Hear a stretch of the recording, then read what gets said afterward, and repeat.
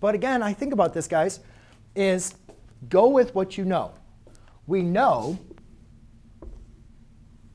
that from here to here is pi. Now, sometimes this x-axis or the y-axis messes everything up.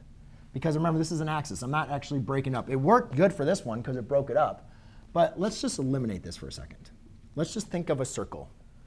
And if I say 2 pi thirds, that means I want two parts of 3. Like of, of something broken up into three parts, I want two of them, right? So I need to break this up into thirds. So from here to here would be 1 third. From here to here would be 2 thirds. And then from here to here would be 3 thirds. And we know 3 pi over 3, or 3 pi over 3, sorry, not 3 thirds. 3 pi over 3 is the same thing as pi, right? So we can see, though, that the measurement from here to here is going to be 1 th 2 thirds. And that's going to be our angle. So drawing this down below,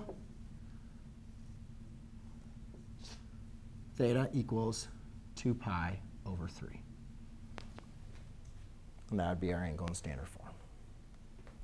All right. So again, we can represent radians, guys, in radi as radian form as like numbers, which really represents like the radius